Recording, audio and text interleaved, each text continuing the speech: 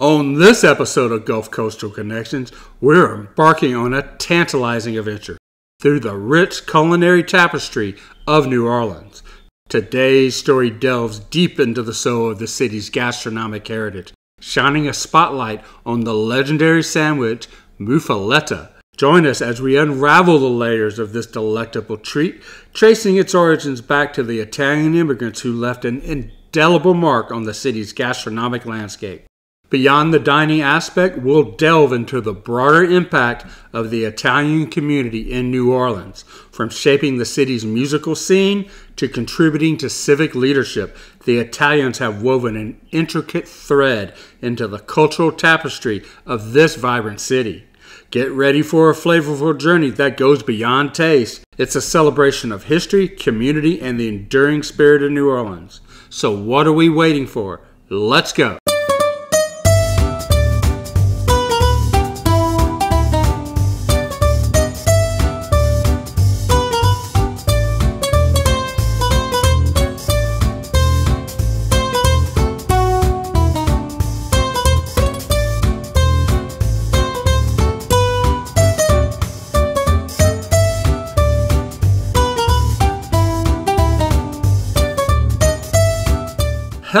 I'm Eddie Parker. The muffaletta, that classic New Orleans sandwich, renowned for its harmony of flavors, comprises four key components that dance together on your taste buds. It's surprisingly easy to make at home if you can get the ingredients, which fortunately for me I can right here at my friendly neighborhood Rouse's Market. Rouse's embarked on its journey as the city produce company, founded by the visionary J.P. Rouse in Thibodaux, Louisiana in 1923. J.P. Rouse, an Italian immigrant hailing from Sardinia, initially procured produce from Terrebonne and Lafourche parishes, then packed and shipped it all over the country for use in supermarkets as far away as Alaska, as well as operating a produce stall in the bustling French market in New Orleans. Fast forward to 1960, and the narrative takes an exciting turn when Anthony Rouse Sr. and his cousin Cyril DeMarco inaugurated a 7,000 square foot grocery store in Houma, Louisiana. The 1970s witnessed the passing of the torch to Anthony's son, Ryan Rouse, as Ciro gracefully exited the scene.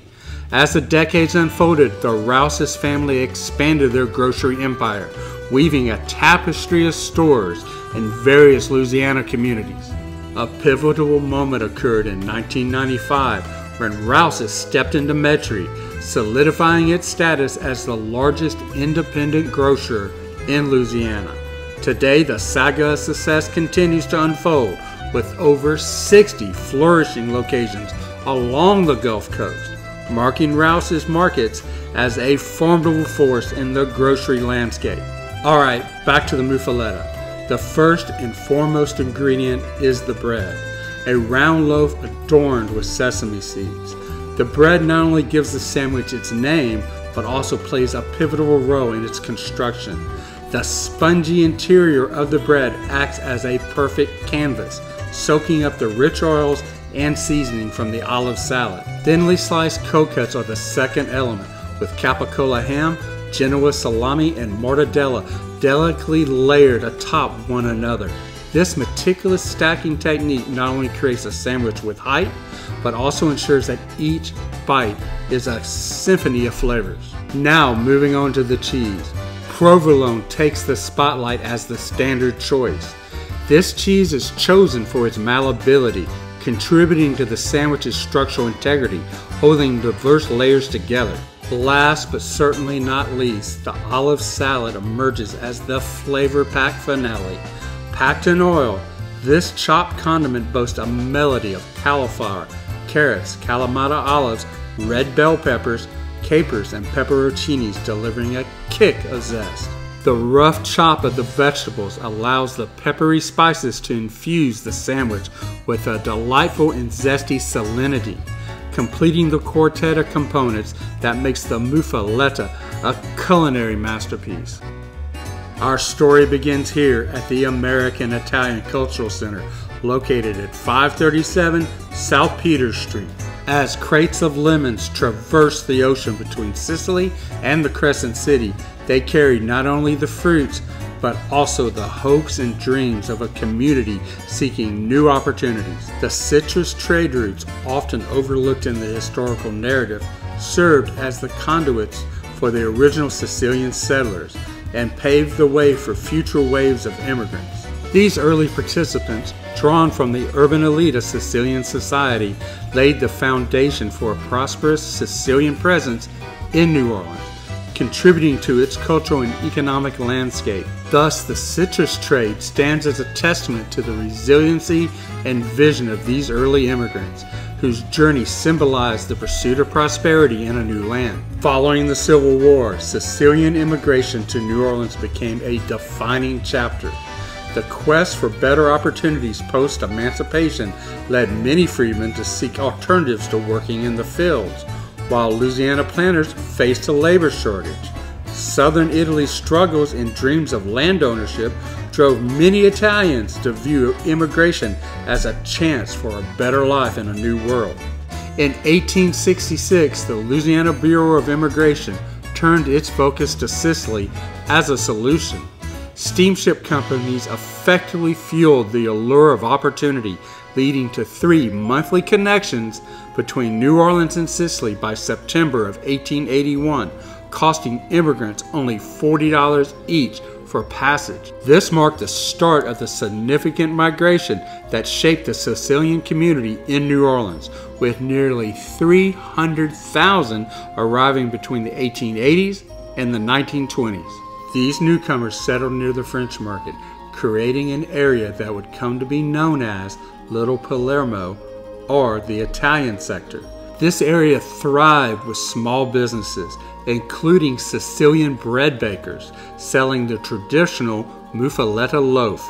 Street vendors echoing muffaletta, caldo, cotto contributed to the vibrant atmosphere, while wholesale distribution to grocers further enriched this community. Unfortunately, it wasn't always easy for the newly arrived Italian population. In the late 19th century, New Orleans faced a turbulent period marked by prejudice and discrimination, epitomized by Mayor Joseph A. Shakespeare's anti Italian sentiments.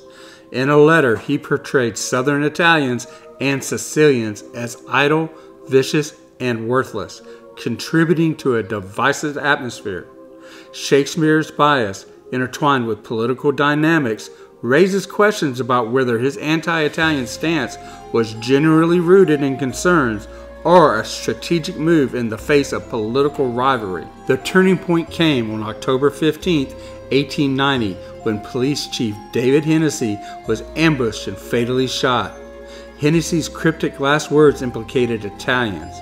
Public sentiment, fueled by local newspapers, targeted Italians for the murder, escalating tensions in New Orleans. Following the police chief's murder, Mayor Shakespeare issued a directive that led to mass arrests of local Italians.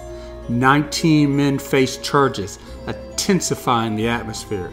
The subsequent trial, starting on February 16, 1891, revealed weak evidence and pretrial improprieties.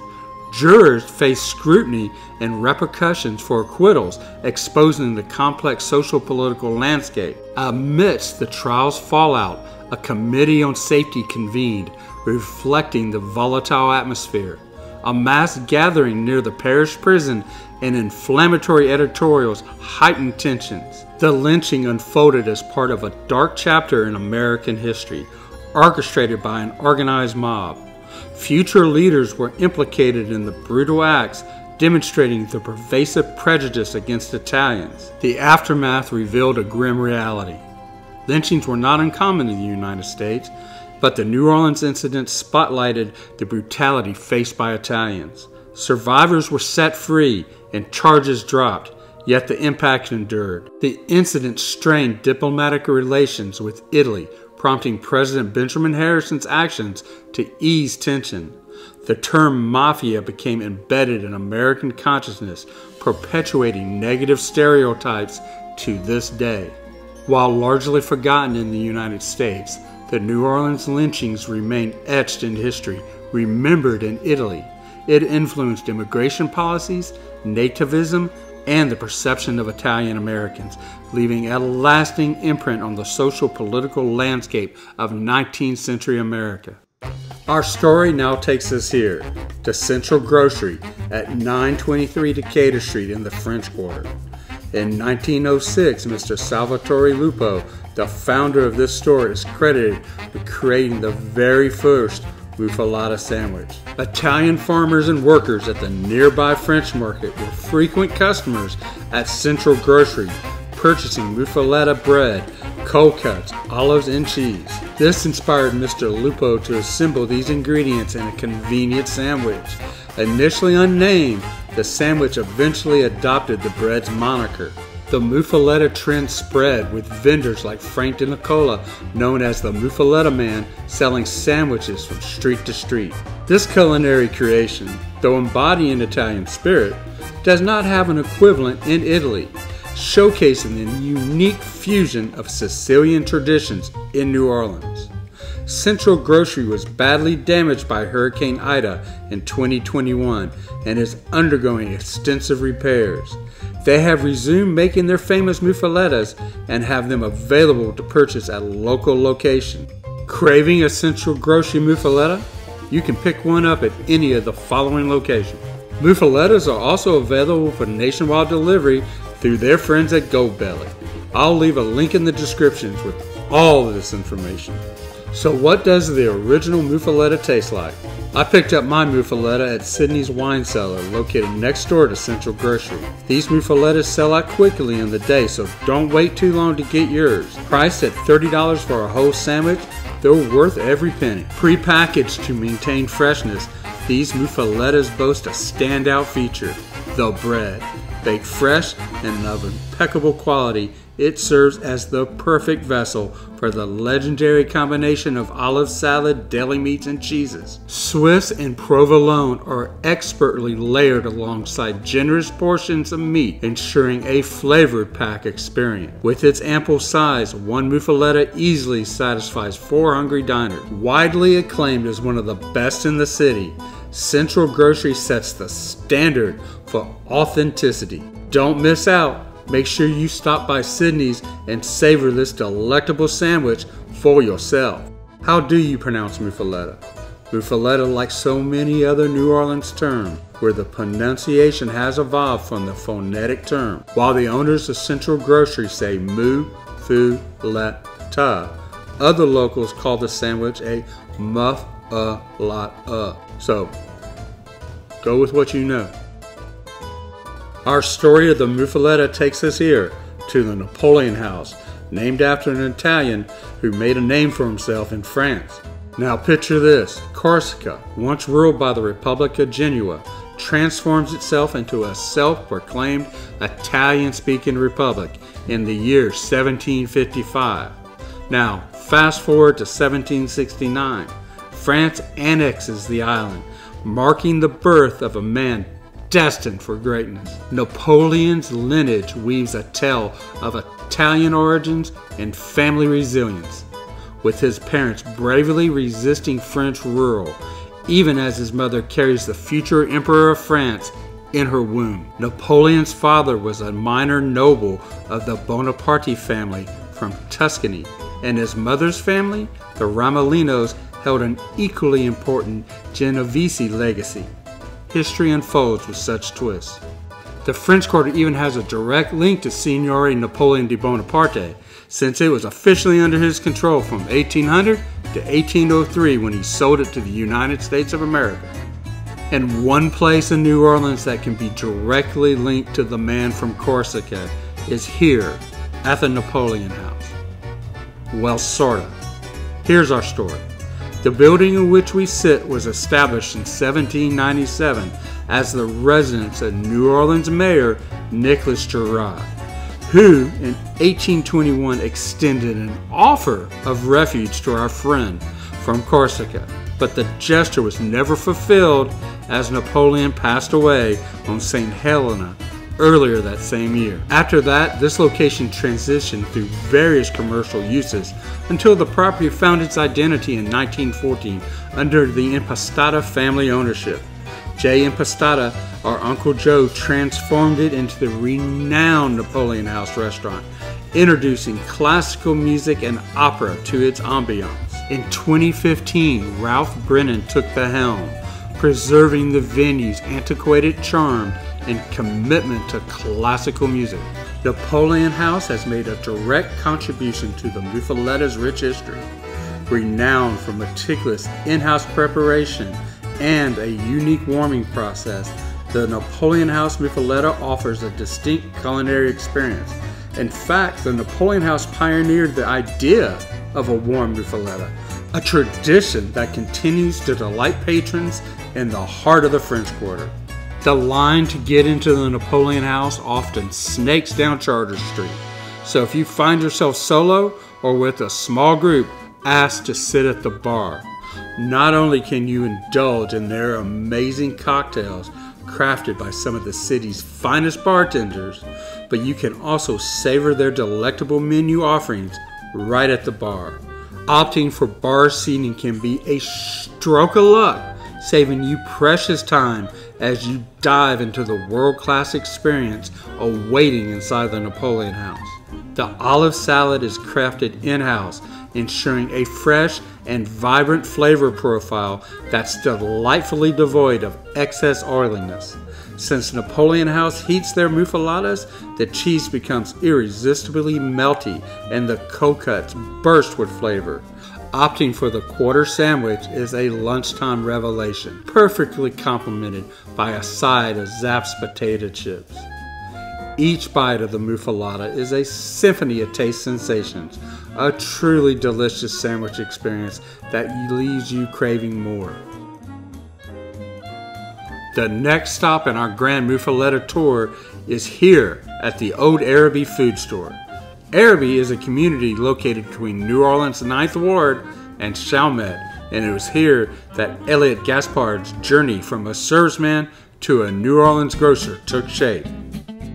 In 1953, after marrying Sybil DeSoto, he ventured into grocery store ownership, establishing a presence in New Orleans. The pivotal move to St. Bernard Parish in 1960 marked the beginning of a thriving business, acquiring St. Maurice's Grocery in 1961 and Arabi Food Store in 1973. Not content with just groceries, Elliot recognized the community's needs for hearty meals. The addition of a full service kitchen serving poor boys and more quickly turned the store into a local hotspot, especially for hard working longshoremen. The historic 650 Friscoville Avenue building, dating back to the early 1900s, became a cornerstone in Old Arabi. As the business flourished, Elliot's daughters and their husbands joined the family enterprise by the mid 1980s. Elliot and Sybil later embraced retirement in Diamond Head, Mississippi, leaving a legacy that continues to thrive. Elliot's passing in 2004 coincided with significant changes in the area, including the disappearance of gambling casinos and the revitalization of St. Bernard Parish post Katrina. Amid the transformation, Arabi Food Store remained a constant, symbolizing resilience. The store, affectionately dubbed the biggest little store in the parish, is a testament to the enduring charm of a community centric business. At this establishment, ordering is a breeze at the front registers, followed by a seamless pickup in the back. The staff exudes warmth and professionalism, assuring a pleasant dining experience. As you navigate the space, you appreciate the pristine cleanliness and the visually captivating interior, adorned with captivating works by local artists. This particular work was done by noted Arabi artist Jason Landry. It's evident that attention to detail is paramount here creating an atmosphere where patrons can truly unwind and enjoy the company of good folks while savoring delectable dishes. Prepare your taste buds for our culinary odyssey unlike any other with the Old Arabi Food Store's Muffaletta. As you take your first bite, you're greeted with warmth from perfectly toasted bread, embracing a melty symphony of cheeses and cold cuts.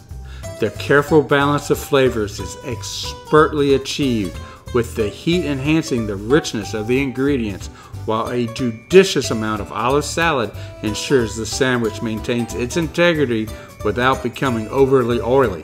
What truly elevates this muffaletta to greatness is the presence of chewy mozzarella cheese, adding another layer of indulgence to an already exceptional creation.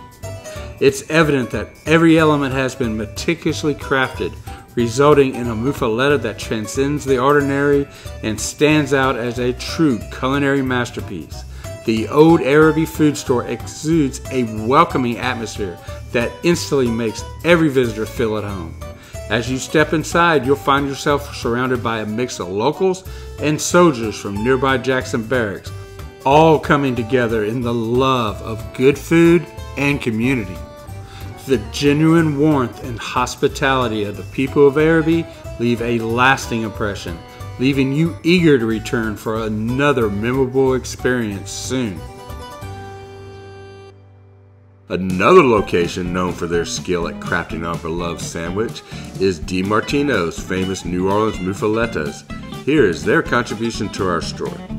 The street vendors who peddled their sandwiches through Little Palermo may have faded away, but DiMartino's restaurant founder, Peter DiMartino, hailing from a family with deep roots in the city's French market, now carries on their legacy. In 1975, he opened DiMartino's, a restaurant with a menu highlighting hearty muffalettas and poor boy sandwiches. DiMartino's quickly became a success, and today, with three fast casual locations on the West Bank and a full service concept in Covington, it continues to honor generations of quality food and service. I indulged in their renowned muffaletta and a tantalizing cannoli, placing my order with their attentive and courteous staff. True to their word, my meal was ready in a swift 15 minutes. While waiting, I admired their inviting bar, perfect for solo diners or those awaiting takeout. Now let's indulge in the culinary delight that is DiMartino's famous muffaletta, a true masterpiece waiting to be unwrapped. As you unveil this culinary treasure, you'll be struck by its generous portions, perfect for sharing over a leisurely lunch for two or a hearty solo dinner. But what truly steals the spotlight is the olive salad, the undisputed rock star of this creation. A symphony of flavors and textures awaits as you bite into the rough cut olives, crisp carrots, vibrant bell peppers, and delicate cauliflower, all harmonizing to create a medley of taste sensations. The larger than usual pieces of these ingredients add a satisfying crunch, elevating each bite to new heights. Between the layers of cheese and cold cuts lies a world of flavors, carefully curated to deliver a homemade taste that speaks volumes of the quality ingredients used. Every bite is a journey through layers of savory goodness, each ingredient perfectly complementing the next. In every aspect, DiMartino's famous muffaletta is a culinary triumph, a testament to the artistry and dedication of its creators. From its impressive size to its impeccable flavor profile, it's a gastronomic experience not to be missed. Treat yourself to this delightful masterpiece and prepare to be transported to a world of culinary bliss. Cannolis are a beloved pastry with roots tracing back to Sicily during the Arab rule in the 10th to 11th centuries. These irresistible treats boast fried pastry dough shells filled with a luscious ricotta based cream, embodying the essence of Sicilian cuisine. Legend has it that concubines of Sicilian princes crafted these desserts to captivate their attention, infusing them with exotic flavors like candied fruits, pistachios, and cinnamon under Arab culinary influence. The name cannoli itself may derive from the Arabic word for tubes, in homage to its distinctive shape. DiMartino's makes a very fine cannoli indeed. With hardworking staff, delectable fare, and a welcoming ambiance, DiMartino's is a must visit destination for food enthusiasts in the Covington area. We have arrived at the final chapter in our enchanting tale. Last, but certainly not least, is the original Fiorella's Cafe. Our story begins in the year of 1964 amidst a bustling family grocery business known as Fiorella's Fine Foods. The store owner, Anthony Fiorella, would rise before the break of dawn to go down to the French market to buy the freshest of produce for his customers, while his son, CJ, and his daughter in law, Carolyn, managed orders and stocked shelves back at the store. In 1977, tragedy struck with the sudden passing of Anthony Fiorella, leading CJ to take up the responsibility of procuring produce. During CJ's routine coffee stop at the French Market, fate intervened. The restaurant owner relinquished the place for health reasons, unexpectedly offering it to CJ. On May 3, 1985, Fiorella's Cafe came to life. And after years near the French Market, CJ sold the business in 1999. Fast forward to 2016, and a revival unfolded as the original Fiorella's Cafe on Franklin Avenue in Gentilly opened its doors. CJ's passing in 2023 left his sons, Kelly and Kelsey, to continue the Fiorella's family tradition of quality dining with friendly service. The original Fiorella's Cafe offers a delightful dining experience that combines efficiency with indulgence. Upon arrival, you'll find a seamless ordering process as you step up to the counter where you'll be promptly greeted by friendly staff. After placing your order, you'll be given a number and directed to your chosen table where you can relax and anticipate the culinary delights that are about to come. Now let's get right to the star of the show, the muffaletta. Prepare yourself for a flavor explosion as the generous proportions of cold cuts nestled between slices of high quality, freshly baked bread are sure to leave you satisfied. The olive salad, with its homemade taste and perfectly balanced flavors, adds a delightful touch to each and every bite. And speaking of the bread, there's a good chance it was made in house, given its unmistakable fresh taste and texture. Every element of Fiorella's Cafe's muffaletta comes together in perfect harmony with flavors that complement each other flawlessly. By the time you finish your meal, you'll find yourself not just full, but contented with memories of a dining experience that exceeded expectations. The Italian community has gifted New Orleans with more than just an incredible sandwich. The Piazza d'Italia stands as a vibrant testimony to New Orleans' rich cultural tapestry and architectural innovation. Designed by the visionary Charles Moore and Perez Architects, this urban plaza, nestled behind the American Italian Cultural Center, captivates visitors with its postmodern charm. Completed in 1978, it celebrates the enduring legacy of Italian immigrants in the city a tribute conceived by leaders of the Italian American community. Moore's design ingeniously blends classical elements with modern materials, exemplified by the central fountain shaped like the Italian peninsula. Surrounded by colonnades, a clock tower, and a campanile, the plaza invites exploration and reflection. Inscribed in Latin, the fountain's message the Fountain of St. Joseph. The citizens of New Orleans have given this fountain to all the people as a gift. Embodies the spirit of generosity and cultural pride that defines this iconic landmark. Located along the bustling Mississippi River in Woldenberg Park, the Monument to the Immigrant proudly stands as a poignant tribute to New Orleans' vibrant history and enduring spirit. Erected in March of 1995, this striking monument, crafted by the skilled hands of sculptor Franco Alessandrini, embodied the essence of the city as a melting pot of cultures. Depicting an immigrant family on one side and a stylized ship front on the other, it serves as a powerful reminder of New Orleans' roots as both a port city and a haven for generations of newcomers. Alessandrini, himself an Italian immigrant who made Louisiana his home, meticulously sculpted the monument to honor those who embarked on brave journeys in search of freedom and opportunity.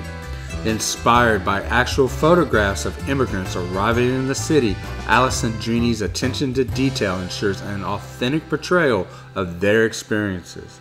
The inscription, etched with reverence, pays homage to the courageous men and women who left their homelands seeking a better life in a new country. With each passing day, the monument to the immigrant stands as a testament to the resilience and indomitable spirit of those who forged their own legacy in a city that is ever evolving and ever changing. From the pioneering spirit of Italian born Henry de Tonti exploring Louisiana in the 17th century, to the influential leadership of Italian American mayors Robert Maestri and Victor Schiro, the Italian imprint on the city of New Orleans history is profound. Italian Americans didn't just lead in the area of politics and government, they also led in the business world.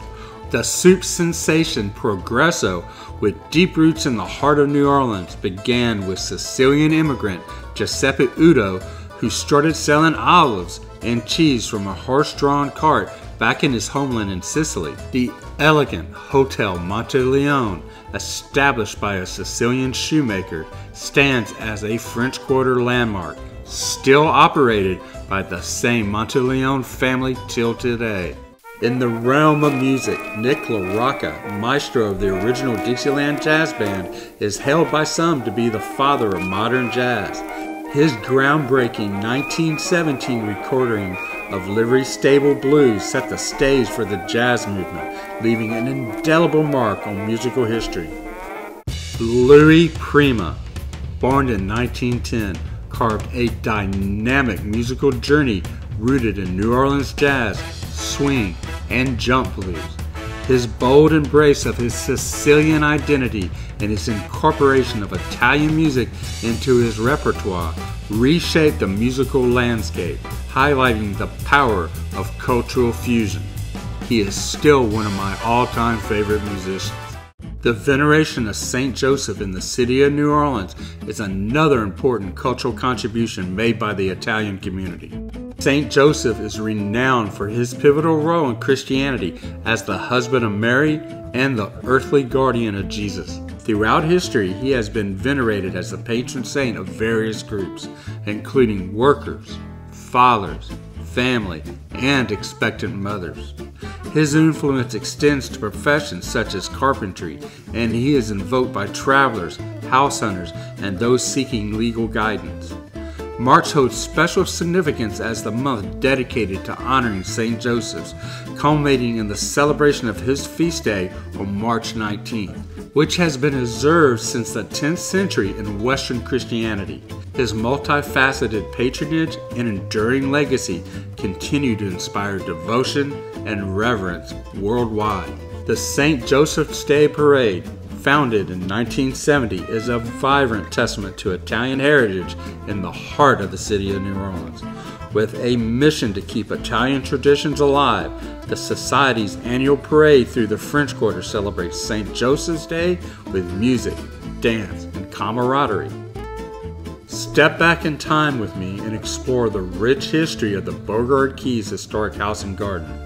Originally acquired in 1865 by Genoa businessman Dominic Lanata as an investment, the house found itself in the hands of various tenants through the years.